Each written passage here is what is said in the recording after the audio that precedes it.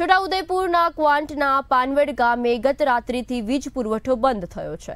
જ્યારે વાવાઝોડાને કારણે વીજ પોલ ધરાશાયી થતા વીજ પુરવઠો ખોરવાયો હોય તેવું જાણવા મળી રહ્યું છે. ત્યારે સિંગલા ગામ નજીક ચાર વીજ પોલ ધરાશાયી થયા છે અને એમજીવીસીએલ દ્વારા પુરવઠો કાર્યરત કરવાની કામગીરી હાથ ધરવામાં આવી હતી. કહી શકાય કે છોટાઉદેપુરના પાનવડમાં ગત રાત્રિથી વીજ પુરવઠો બંધ થયો છે, જેથી ગામવાળાને ભારે હાલાકીનો સામનો કરવી પડી રહ્યો છે. ત્યારે સિંગલા ગામ નજીક ચાર વીજ પોલ ધરાશાયી થયા હતા. ત્યારે એમજીવીસીએલ દ્વારા પુરવઠો કાર્યરત કરવાની કામગીરી પણ હાથ ધરાઈ છે.